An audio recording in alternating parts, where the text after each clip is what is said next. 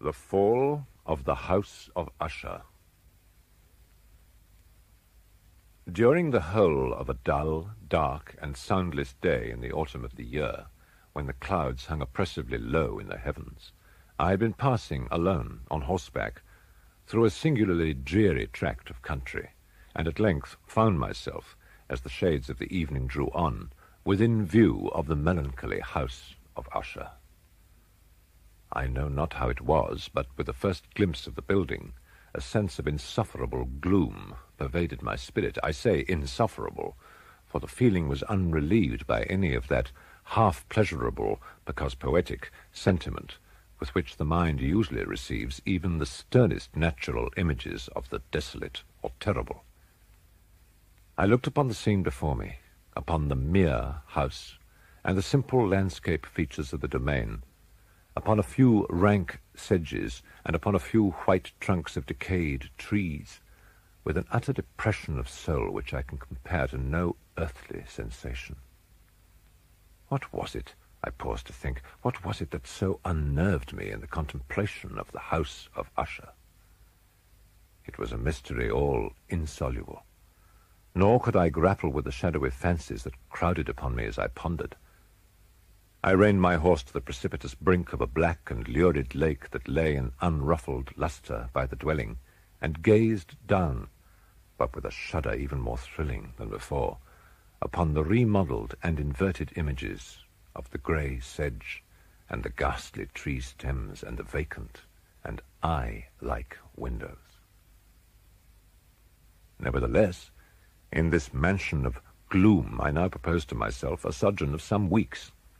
Its proprietor, Roderick Usher, had been one of my boon companions in boyhood, but many years had elapsed since our last meeting. A letter, however, had lately reached me in a distant part of the country, a letter from him, which, in its wildly importunate nature, had admitted of no other than a personal reply. The manuscript gave evidence of nervous agitation. The writer spoke of acute bodily illness, of a mental disorder which oppressed him, and of an earnest desire to see me as his best and indeed his only personal friend, with a view of attempting, by the cheerfulness of my society, some alleviation of his malady. It was the manner in which all this and much more was said. It was the apparent heart that went with his request, which allowed me no room for hesitation, and I accordingly obeyed forthwith what I still considered a very singular summons. Although, as boys, we had been even intimate associates, yet I really knew little of my friend.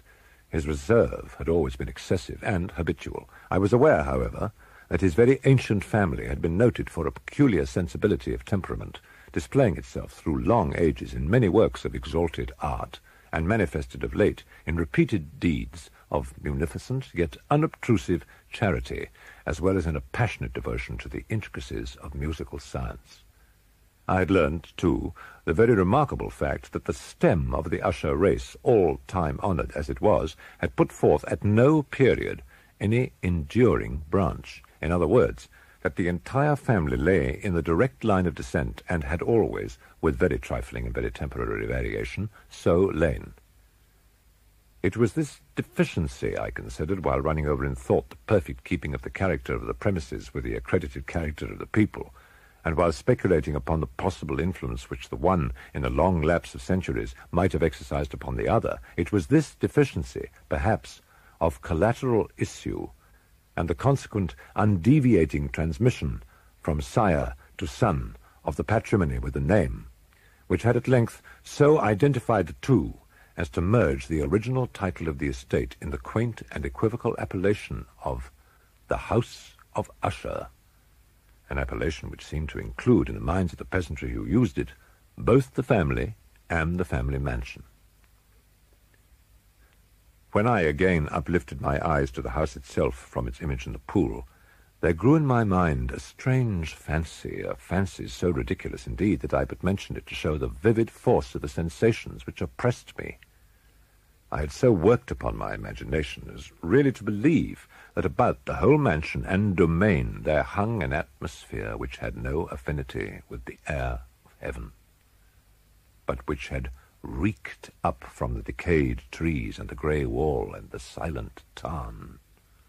A pestilent and mystic vapour, dull, sluggish, faintly discernible, and leaden-hued.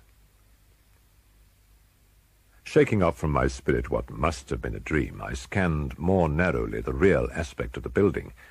Its principal feature seems to be that of excessive antiquity. The discoloration of ages had been great. Minute fungi overspread the whole exterior, hanging in a fine tangled webwork from the eaves. Yet all this was apart from any extraordinary dilapidation. Beyond this indication of extensive decay, however, the fabric gave little token of instability. Perhaps the eye of a scrutinizing observer might have discovered a barely perceptible fissure, which, extending from the roof of the building in front, made its way down the wall in a zigzag direction until it became lost in the sullen waters of the tarn. Noticing these things, I rode over a short causeway to the house. A servant in waiting took my horse, and I entered the Gothic archway of the hall. A valet of stealthy step thence conducted me in silence through many dark and intricate passages in my progress to the studio of his master. Much that I encountered on the way contributed, I know not how, to heighten the vague sentiments of which I have already spoken. While the objects around me, while the carvings of the ceilings, the sombre tapestries of the walls, the ebon blackness of the floors, and the phantasmagoric armorial trophies which rattled as I strode, were but matters to which I had been accustomed from my infancy, I still wondered to find how unfamiliar were the fancies which ordinary images were stirring up. The valet now threw open a door and ushered me into the presence of his master. The room in which I found myself was very large and lofty. The windows were long, narrow, and pointed, and at so vast a distance from the black oaken floor as to be altogether inaccessible from within. Feeble gleams of encrimsoned light made their way through the trellised panes, and served to render sufficiently distinct the more prominent objects around. The eye, however, struggled in vain to reach the remoter angles of the chamber or the recesses of the vaulted and fretted ceiling.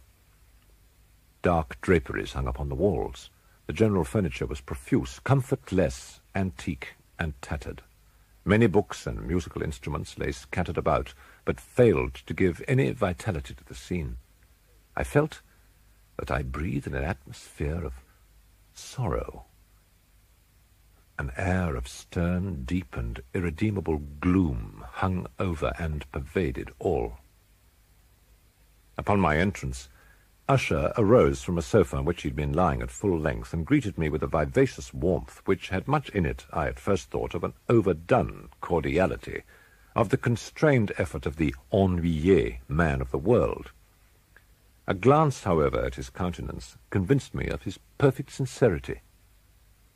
We sat down, and for some moments, while he spoke not, I gazed upon him with a feeling half of pity, half of awe. Surely a man had never before so terribly altered in so brief a period as had Roderick Usher. It was with difficulty that I could bring myself to admit the identity of the one being before me with the companion of my early boyhood. The ghastly pallor of the skin and the miraculous lustre of the eye, above all things, startled and even awed me.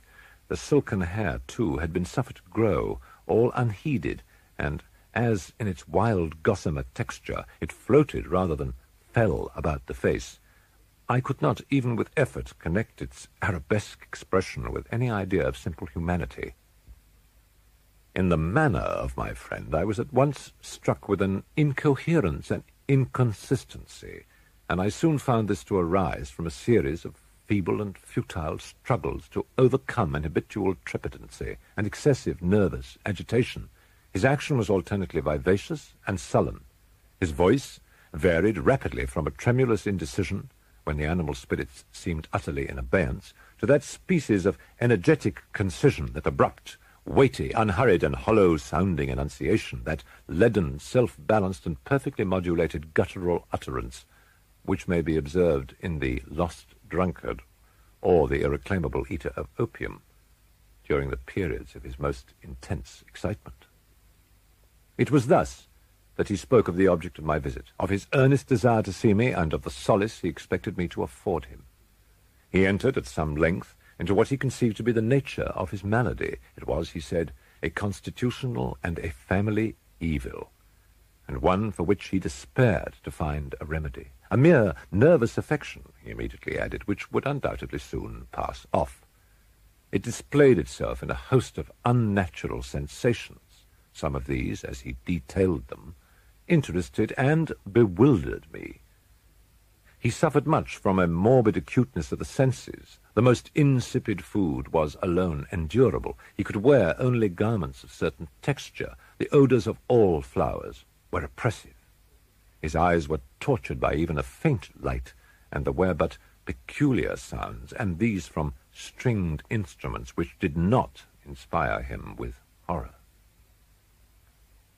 To an anomalous species of terror I found him a bounden slave. I shall perish, said he. I must perish in this deplorable folly. In this unnerved, in this pitiable condition, I feel that the period will sooner or later arrive when I must abandon life and reason together in some struggle with the grim phantasm, fear.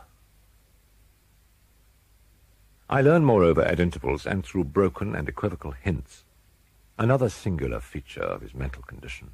He was enchained by certain superstitious impressions in regard to the dwelling which he tenanted, and whence for many years he had never ventured forth. In regard to an influence which some peculiarities in the mere form and substance of his family mansion had, by dint of long sufferance, he said, obtained over his spirit. He admitted, however, although with hesitation, that much of the peculiar gloom which thus afflicted him could be traced to a more natural and far more palpable origin, to the severe and long-continued illness, indeed to the evidently approaching dissolution of a tenderly beloved sister, his sole companion for long years, his last and only relative on earth.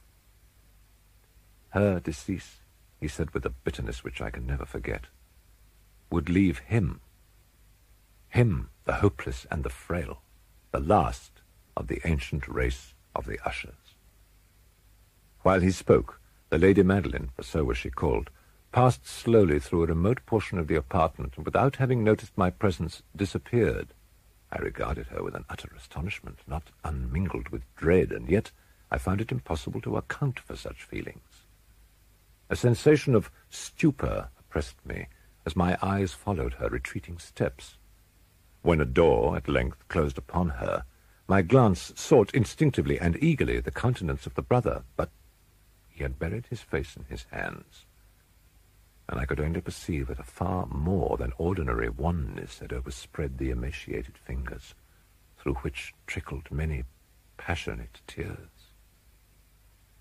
The disease of the Lady Madeline had long baffled the skill of her physicians. A settled apathy a gradual wasting away of the person, and frequent, although transient, affections of a partially cataleptical character were the unusual diagnosis.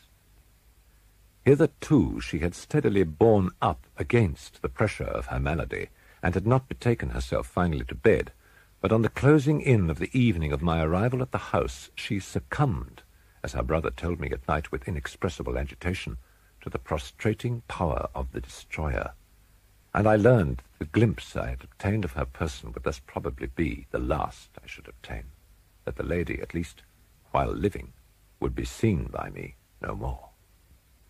For several days ensuing, her name was unmentioned by either Usher or myself, and during this period I was busied in earnest endeavors to alleviate the melancholy of my friend.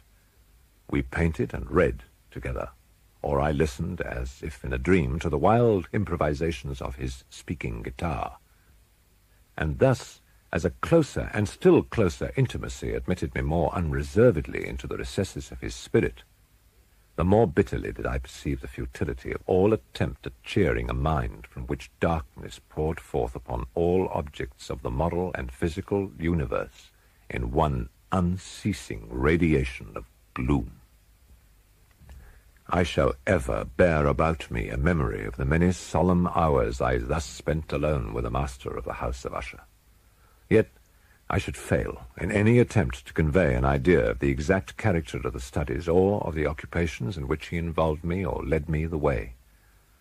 From the paintings over which his elaborate fancy brooded, I would in vain endeavour to deduce more than a small portion which should lie within the compass of merely written words. One of the phantasmagoric conceptions of my friend, partaking not so rigidly of the spirit of abstraction, may be shadowed forth, although feebly, in words. A small picture presented the interior of an immensely long and rectangular vault or tunnel with low walls, smooth, white, and without interruption or device.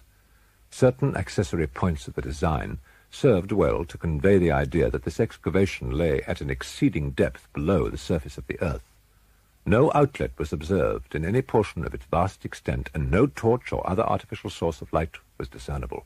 Yet a flood of intense rays rolled throughout, and bathed the whole in a ghastly and inappropriate splendor. I have spoken of that morbid condition of the auditory nerve which rendered all music intolerable to the sufferer, with the exception of certain effects of stringed instruments. It was perhaps the narrow limits to which he thus confined himself upon the guitar which gave birth in great measure to the fantastic character of his performances. But the fervid facility of his impromptus could not be so accounted for.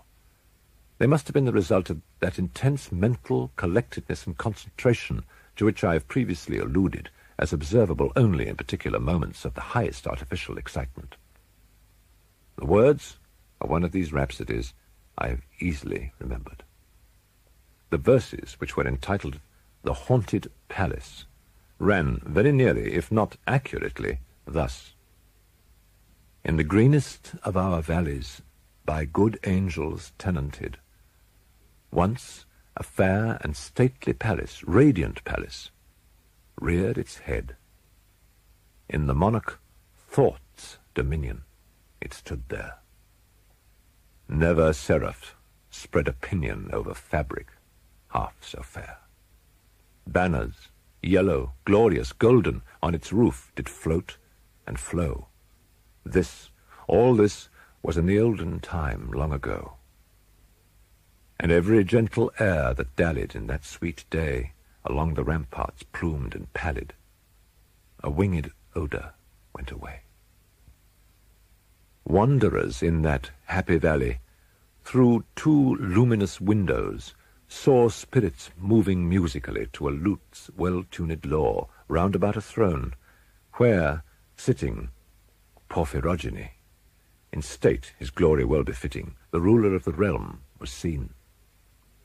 And all with pearl and ruby, glowing was the fair palace door, through which came flowing, flowing, flowing, and sparkling evermore a troop of echoes, whose sweet duty was but to sing, in voices of surpassing beauty, the wit and wisdom of their king. But evil things, in robes of sorrow, assailed the monarch's high estate. Ah, let us mourn for never morrow shall dawn upon him desolate. And round about his home, the glory that blushed and bloomed is but a dim remembered story of the old time entombed. And travellers now within that valley, through the red litten windows, see vast forms that move fantastically to a discordant melody, while, like a rapid ghastly river, through the pale door a hideous throng rush out forever and laugh, but smile no more. I well remember that suggestions arising from this ballad led us into a train of thought wherein there became manifest an opinion of Usher's of the sentience of all vegetable things. But in his disordered fancy, the idea had assumed a more daring character and trespassed, under certain conditions, upon the kingdom of inorganization. I lack words to express the full extent or the earnest abandon of his persuasion. The belief, however, was connected with the grey stones of the home of his forefathers. The conditions of the sentience had been here, he imagined, fulfilled in the method of collocation of these stones, in the order of their arrangement, as well as in that of the many fungi which overspread them, and of the decayed trees which stood around, above all, in the long, undisturbed endurance of this arrangement, and in its reduplication in the still waters of the Tarn. The evidence of the sentience was to be seen, he said, and I here started as he spoke, in the gradual yet certain condensation of an atmosphere of their own about the waters and the walls. The result was discoverable, he added, in that silent, yet importunate and terrible influence which for centuries had moulded the destinies of his family, and which made him what I now saw him, what he was. Such opinions need no comment, and I will make none. One evening, having informed me abruptly that the Lady Madeline was no more, he stated his intention of preserving her corpse for a fortnight previously to its final interment in one of the numerous vaults within the main walls of the building. The worldly reason, however, assigned for this singular proceeding was one which I did not feel at liberty to dispute. The brother had been led to his resolution, so he told me, by consideration of the unusual character of the malady of the deceased, of certain inquiries on the part of her medical men, and of the remote and exposed situation of the burial ground of the family. I had no desire to oppose what I regarded as, at best, but a harmless and by no means an unnatural precaution. At the request of Usher, I personally aided him in the arrangements for the temporary entombment. The body having been encoffined, we two alone bore it to its rest. The vault in which we placed it, and which had been so long unopened that our torches half smothered in its oppressive atmosphere gave us little opportunity for investigation, was small, damp, and entirely without means of admission for light, lying at great depth immediately beneath that portion of the building in which was my own sleeping apartment. It had been used, apparently, in remote feudal times for the worst purposes of a donjon keep, and in later days as a place of deposit for powder or some other highly combustible substance, as a portion of its floor and the whole interior of a long archway through which we reached it were carefully sheathed with copper. The door, of massive iron, had been also similarly protected. Its immense weight caused an unusually sharp, grating sound as it moved upon its hinges. Having deposited our mournful burden upon trestles within this region of horror, we partially turned aside the yet unscrewed lid of the coffin and looked upon the face of the Lady Madeline. A striking similitude between the brother and the sister now first arrested my attention, and Usher, divining perhaps my thought, murmured out some few words from which I learned that the deceased and himself had been twins, and that sympathies of a scarcely intelligible nature had always existed between them. Our glances, however, rested not long upon the dead, for we could not regard her unawed. The disease, which had thus entombed the lady in the maturity of youth, had left, as usual in all maladies of a strictly cataleptical character, the mockery of a faint blush upon the bosom and the face, and that suspiciously lingering smile upon the lip which is so terrible in death. We replaced and screwed down the lid, and having secured the door of iron, made our way with toil into the scarcely less gloomy apartments of the upper portion of the house. And now, some days of bitter grief having elapsed, an observable change came over the features of the mental disorder of my friend. His ordinary manner had vanished, his ordinary occupations were neglected or forgotten. He roamed from chamber to chamber with hurried, unequal, and objectless step. The pallor of his countenance had assumed, if possible, a more ghastly hue, but the luminousness of his eye had utterly gone out. The once occasional huskiness of his tone was heard no more and a tremulous quaver, as if of extreme terror, habitually characterized his utterance. There were times, indeed, when I thought his unceasingly agitated mind was laboring with some oppressive secret, to divulge which he struggled for the necessary courage.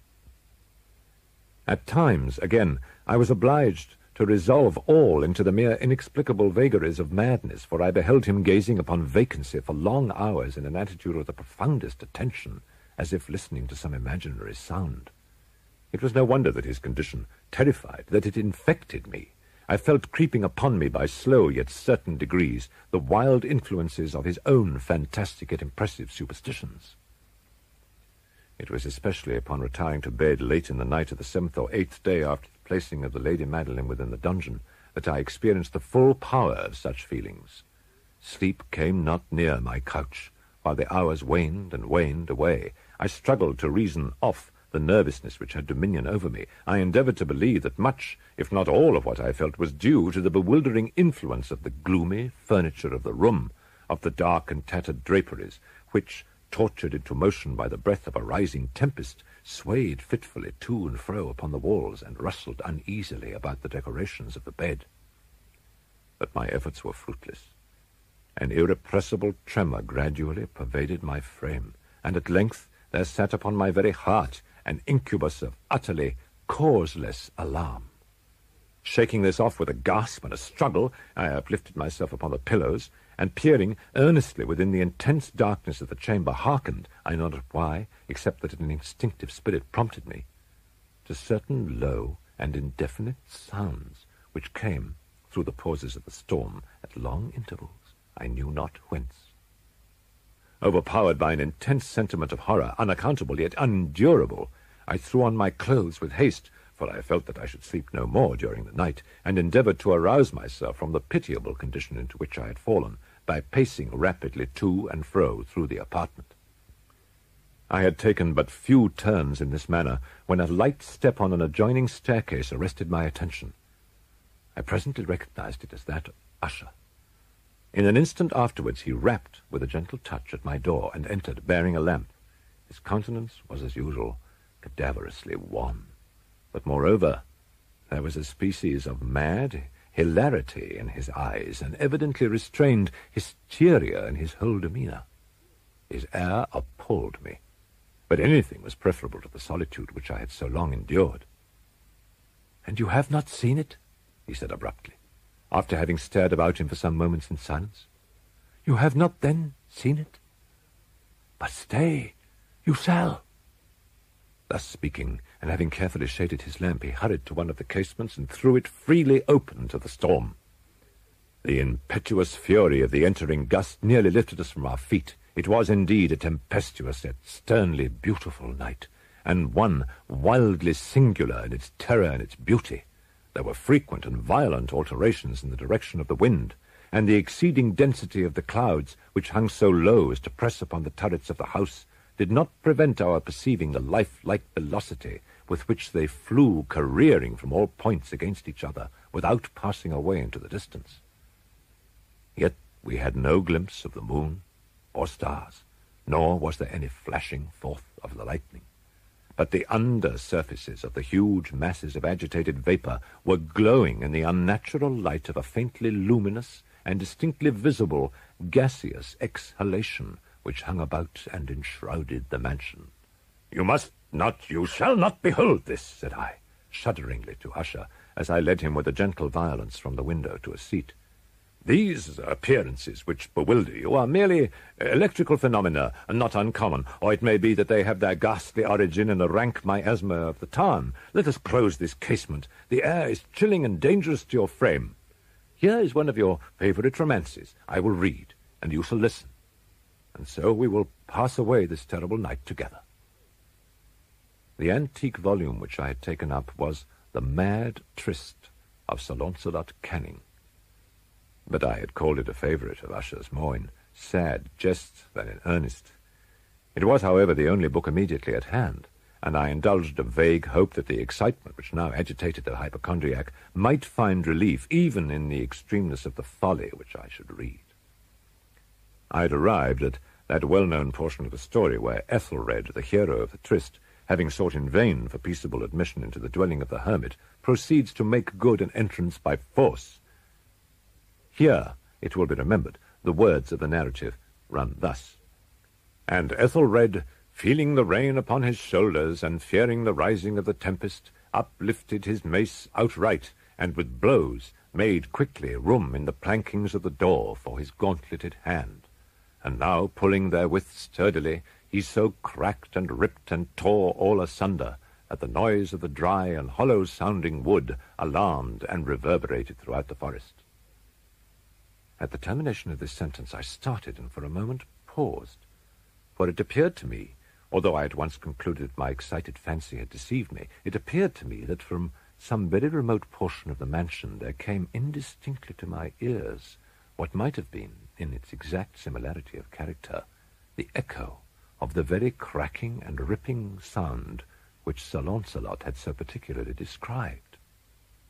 It was beyond doubt the coincidence alone which had arrested my attention, for amid the rattling of the sashes of the casements and the ordinary commingled noises of the still increasing storm, the sound in itself had nothing, surely, which should have interested or disturbed me. I continued the story. But the good champion Ethelred, now entering within the door, was sore enraged and amazed to perceive no signal of the maliceful hermit, but in the stead thereof a dragon of a scaly and prodigious demeanour, and of a fiery tongue, which sate in guard before a palace of gold with a floor of silver, and upon the wall there hung a shield of shining brass, with this legend enwritten, Who entereth herein, a conqueror hath been. Who slayeth the dragon, the shield he shall win. And Ethelred uplifted his mace and struck upon the head of the dragon, which fell before him, and gave up his pesty breath with a shriek so hurried and harsh, and withal so piercing, that Ethelred had feigned to close his ears with his hands against the dreadful noise of it, the like whereof was never before heard.